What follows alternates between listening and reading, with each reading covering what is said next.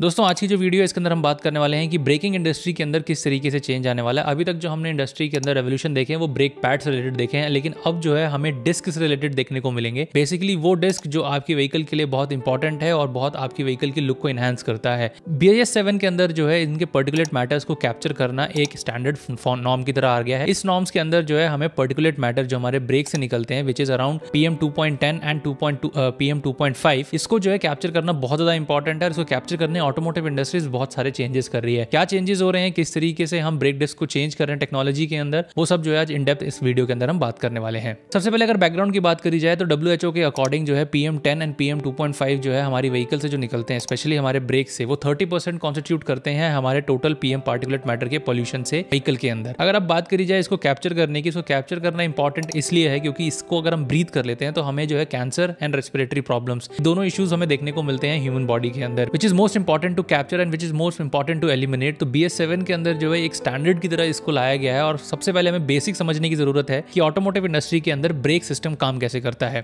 अब brake system को जो है बेसिकली हम दो सेक्शन में बांट सकते हैं। एक हमारा आईसी इंजन का सेक्शन है, दूसरा है हमारा इलेक्ट्रिक व्हीकल का सेक्शन आईसी इंजन के सेक्शन की अगर मैं बात करूँ तो यहाँ पे जो है फुली मैकेनिकल सिस्टम होता है, जहाँ पे आपके लीवर्स की थ्रू आपके हाइड्रोलिक या मैकेनिकल ब्रेक्स आपके डिस्क एंड ड्रम कॉन्फ़िगरेशन को कंट्रोल करते हैं। और ये जो है काइनेटिक मास को देखते हुए बनाया जाता है कि हमें जो बॉडी रोलिंग बॉडी है, उसको स्टॉप करने के लिए कितना बड़ा हमें डिस्क चाहिए, किस तरीके के ब्रेक्स लगेंगे, कितना बड़ा ड्रिम कॉन्फ़िगरेशन होना चाहिए एंड अगर मास ज़्यादा है स्पीड ज़्यादा है तो हम आगे पीछे दोनों तरफ़ जो है डिस्क एंड डिस्क का कॉन्फ़िगरेशन देखते हैं। बट यहाँ से जो है हमारा सबसे ज़्यादा एबेस्टस मटेरियल रिलीज़ होता है, जिसका बेसिकली हमारा ब्रेक पैड बना हुआ होता है। इस प्रॉब्लम को एलिमिनेट करने के लिए हम दूसरे बास्केट में जाते हैं, जहाँ पे बेसिकली हमारा ईवी e आता है और हाइब्रिड व्हीकल्स आता है। अब ईवी एंड हाइब्रिड व्हीकल्स के अंदर रीजनरेटिव ब्रेकिंग्स होते हैं, जिसके अंदर हमारे मैकेनिकल ब्रेकिंग लिंकेजेस को हम एलिमिनेट कर देते हैं। ये ना ही सिर्फ़ हमारी गाड़ी को रोकते हैं बट एनर्जी को रिक्यूपरेट करके उसको बैटरी को चार्ज भी करते हैं। बट सबसे बड़ा डिसएडवांटेज इसके अंदर ये होता है कि यहाँ पे जो है बेसिकली हमारे जो डिस्क की लाइफ होती है या ब्रेक पैड्स की लाइफ होती है, वो एलिमिनेट होती चली जाती है। क्योंकि जब आपकी व्हीकल जब रोड पे चलती है तो वहाँ पर डस्ट पार्टिकल रोड सॉल्ट जब ये सारे इकट्ठा होते हैं डिस्क के ऊपर, उसकी तरफ़ से जो है, अगर हम उसको साफ़ नहीं कर रहे, जो बेसिकली हमारा यहाँ पे मैकेनिकल सिस्टम कर रहा था ब्रेक पैड्स के थ्रू अगर उसको क्लीन नहीं करते तो हमारे जो है, ये रस्टिंग के चांसेस ज़्यादा देखने को मिलते हैं। तो एक तरफ़ हमने टेक्नोलॉजिकल चेंज किया तो वहाँ पे भी हमें प्रॉब्लम देखने को मिलता है। एक हमारा जो नॉर्मल व्हीकल सिस्टम है, उसके अंदर भी हमें प्रॉब्लम देखने को मिलता है। तो इन सब चीज़ों से देखते हुए जो है ऑटोमोटिव इंडस्ट्री ने ब्रेक पैड के अंदर रेवोल्यूशन लाना शुरू करा। सबसे पहले अगर मैं बात करूँ तो इस पीएम पार्टिकुलेट मैटर को कैप्चर करने के लिए ऑटोमोटिव इंडस्ट्री ने ट्राई किया पर्टिकुलेट फ़िल्टर अब पर्टिकुलेट फ़िल्टर को जो है बेसिकली उन्होंने व्हीकल के ब्रेक के पास लगाने की कोशिश करी, जो फिफ्टी परसेंट पर्टिकुलेट मैटर्स को कैप्चर कर रहा था। बट उसके कैप्चरिंग से ये हो रहा था कि हमें इश्यूज़ देखने को मिल रहा था कि हमारा व्हीकल का अपस्ट्रंग वेट बढ़ता चला जा रहा है। अपस्ट्रंग वेट बढ़ते हुए जो है, हमारी व्हीकल की हैंडलिंग को जो है, हम अनकंफर्टेबल बनाते चले जा रहे हैं, जो बहुत ज़्यादा इशू एक प्रॉब्लम है। और आजकल की जो व्हीकल्स हैं, उनके अंदर अगर हैंडलिंग अच्छी नहीं है तो व्हीकल को बाय करना या व्हीकल को सेल करना एक बहुत बड़ा इशू हो जाता है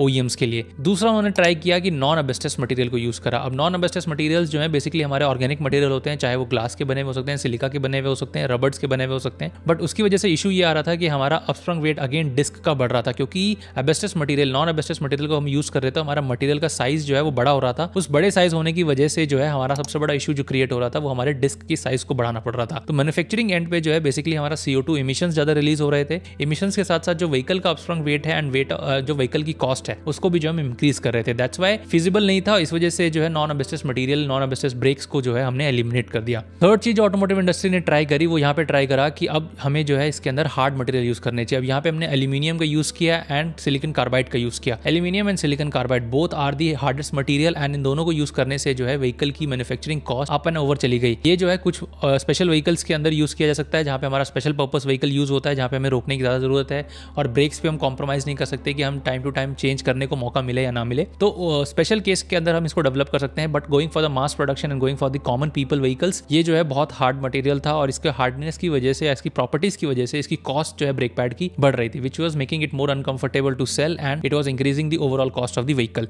तो इसकी वजह से जो है, इसको हमने एलिमिनेट कर दिया। तो तीन चीज़ें जो है बेसिकली ऑटोमोटिव इंडस्ट्री ने ट्राई करी ब्रेक पैड से रिलेटेड अब जो ऑटोमोटिव इंडस्ट्री है, उसके अंदर जो सबसे बड़ा चेंज आया, वो आया डिस्क टेक्नोलॉजी के अंदर चेंज करने की कोशिश करी। इस डिस्क टेक्नोलॉजी के अंदर जो है, हमने कोटिंग प्रोसेस को चेंज किया। इस कोटिंग प्रोसेस में जो है, हमने ऊपर की टू लेयर्स को हमने टारगेट किया, जो बेसिकली हमारे 300 माइक्रोमीटर्स की लेयर होती है। इसमें जो है, हमारे wear resistance and corrosion resistance दोनों लेयर को जो है, हमने टैकल करने की कोशिश करी, ताकि हम अपने डिस्क की टेक्नोलॉजी को इंप्रूव कर सके। अगर आपकी व्हीकल के जो डिस्क है, उसके अंदर वियरिंग रेजिस्टेंस ज़्यादा रहेगा तो वहाँ पे जो है, हमारे एबेस्टस मटेरियल ज़्यादा घिसेंगे और उसकी वजह से जो है पीएम पार्टिकुलेट मैटर्स जो है, जो हमारे ब्रेक पैड से निकलते हैं, उसकी रिलीजिंग ज़्यादा रहेगी। तो इन दोनों को कंट्रोल करने के लिए अभी तक जो है हमारा कन्वेंशनल क्लैडिंग प्रोसेस यूज़ होता था। कन्वेंशनल क्लैडिंग प्रोसेस जो है बेसिकली इसके अंदर हम क्या करते हैं कि मान लीजिए आपका डिस्क है, इस डिस्क पे जो है हम लेजर बीम के थ्रू इसको, इसके टॉप लेयर को हीटअप करते हैं। इस टॉप लेयर को हीटअप करने की वजह से जो है एक हीट जोन क्रिएट होता है। इस हीट जोन पे जो है हम पाउडर पार्टिकल्स डालते हैं। ये पाउडर पार्टिकल्स ही जो है बेसिकली हमारे दो ऐसे मटेरियल होते हैं टंगस्टन एंड टाइटेनियम जो बेसिकली इसको जो है हार्डन मटेरियल बनाते हैं और वियर रेजिस्टेंस बनाते हैं। बट इशू ये आता था कन्वेंशनल प्रोसेस के अंदर कि यहाँ पे जो है प्रॉपर हीटअप जोन नहीं था और इंटरेक्शन टाइम बहुत कम था। ये इंटरेक्शन टाइम कम होने के कारण जो है हमारा प्रोडक्शन टाइम भी बढ़ता था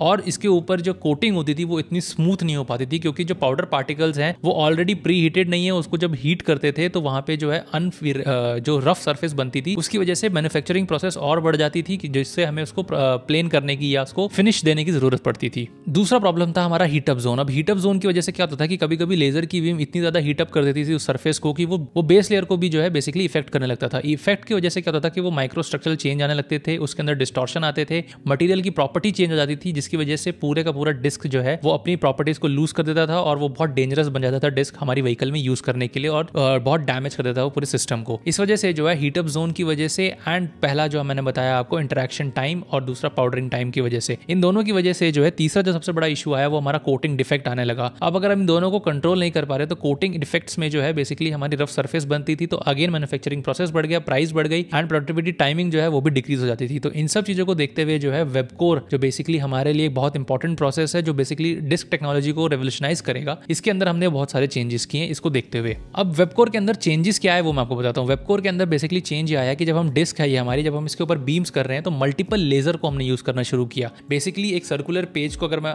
बेसिकली बाइसेक्ट करूँ और सेक्शन में डिवाइड कर दूँ तो हम इसको पर सेक्शन यूज़ कर रहे थे। अब इस पर सेक्शन की वजह से क्या हो रहा था कि मल्टीपल लेयर्स यूज़ कर रहे हैं मल्टीपल हीटअप जोन हो गए तो प्रॉपर हमें हीट करने का टाइम मिलता था प्रॉपर जोन जो है हम हीटअप को कंट्रोल कर पा रहे थे, उसकी वजह से जो है यहाँ पे प्रॉपर फिनिश मिलती थी। दूसरा सबसे बड़ा चीज़ हमने जो इसके अंदर इंट्रोड्यूस किया, ये इंट्रोड्यूस किया कि हमने जो पाउडर पार्टिकल्स हैं, उनको प्री हीट करना शुरू करा लेजर में डालने से पहले। उसकी वजह से क्या होता था कि जब पार्टिकल प्रॉपर तरीके से प्री हीटेड रहते थे, जब वो मटीरियल के ऊपर जाके लगते थे या हीटअप जोन पे जाते थे तो वो अच्छे से वहाँ पे मिक्स हो जाते थे सेट हो जाते थे एंड उसकी वजह से जो हमें फिनिश बहुत प्रॉपर देखने को मिलती थी। तो इन दोनों चीज़ों की वजह से जो है हमने सबसे बड़ा इशू जो हमारे डिस्क के साथ था कि सबसे पहले हम उसकी हार्डनिंग को कंट्रोल करें, दूसरा हम उसकी सरफेस को कंट्रोल करें। साथ ही साथ जो है हम यहाँ पे अपने मटीरियल को हम कितना स्प्रे कर रहे हैं, उसको भी जो हम यहाँ पे कंट्रोल कर सकते थे। दो मटेरियल मैंने आपको बताया titanium carbide and tungsten carbide इस दोनों की वजह से ही जो है बेसिकली हमारी wear resistance and as well as ductility जो मिलती है हमारे ब्रेक पैड डिस्क को, उसको जो है हम यहाँ पे मेंटेन कर पा रहे हैं। और इसकी वजह से ही जो है अब वेबकोर जो है आने वाले ऑटोमोटिव इंडस्ट्री के अंदर पीएम को कंट्रोल करने के लिए सबसे बड़ा इंपॉर्टेंट टेक्नोलॉजी बन जाएगा डिस्क टेक्नोलॉजी को डेवलप करने के लिए। अब बात करते हैं कि वेबकोर के अंदर जो है बेसिकली हमने जो दो लेयर बनाई वो कौन कौन से कितने डेप्थ पे बनाई और क्या उसके एडवांटेजेस हमें देखने को मिले। तो वेबकोर के अंदर जो है बेसिकली हमारे दो लेयर रहते हैं। एक करोजन एक दूसरा वियर रहता है। अब कोरोजन की अगर मैं बात करूँ तो जो इसकी थिकनेस रहती है, वो 60 टू 120 मीटर्स की रहती है। इसके अंदर जो हम दो मटेरियल यूज़ करते हैं क्रोमियम एंड निकल क्रोमियम का काम ये रहता है कि वो उसकी ऑक्सीडेशन की प्रॉपर्टी को रिड्यूस कर देता है, जिसकी वजह से हमें कोरोजन देखने को नहीं मिलता और निकल जो है बेसिकली इसको डक्टाइल एंड टफनेस देता है which basically makes it durable and more enhance in terms of using this material और जो इसकी प्रॉपर लेयरिंग को भी जो है प्रोटेक्शन देता है। तो इसकी थिकनेस रहती है वो sixty to hundred and twenty micrometers की लेयर पे रहती है। इसके ऊपर आता है हमारा जो यूजेबल या working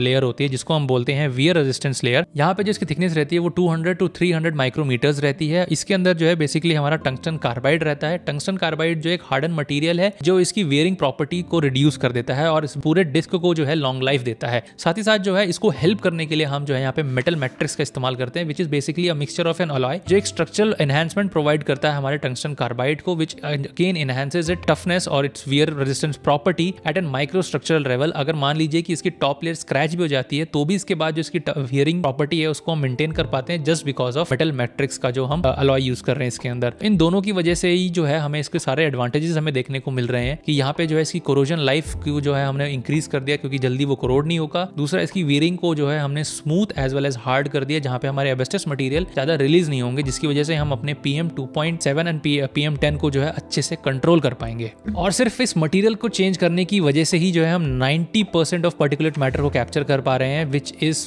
far below what the standard is set in by the Euro seven standards और हमें बी एस सेवन में भी जो है हमें इस तरीके की डिस्क टेक्नोलॉजी की वो देखने को मिल सकता है। तो आपको क्या लगता है कि किस तरीके से ऑटोमोटिव इंडस्ट्री बिहेव करेगी और क्या आपको इसका फ्यूचर दिखाई देता है मुझे ज़रूर कमेंट करके बताएँ। अगर आपको वीडियो अच्छी लगी तो इसको लाइक करें शेयर करें सब्सक्राइब करें हमारे चैनल को, क्योंकि यहाँ पे जो हम ऐसे टेक्नोलॉजिकल वीडियोस के बारे में बात करते रहते हैं। एंड बेल आइकन को दबाना ना भूलें। नेक्स्ट आप किस टॉपिक के ऊपर वीडियो चाहते हैं, आप मुझे कमेंट करके ज़रूर बताएँ। धन्यवाद इस वीडियो को देखने के लिए और आपका दिन शुभ हो।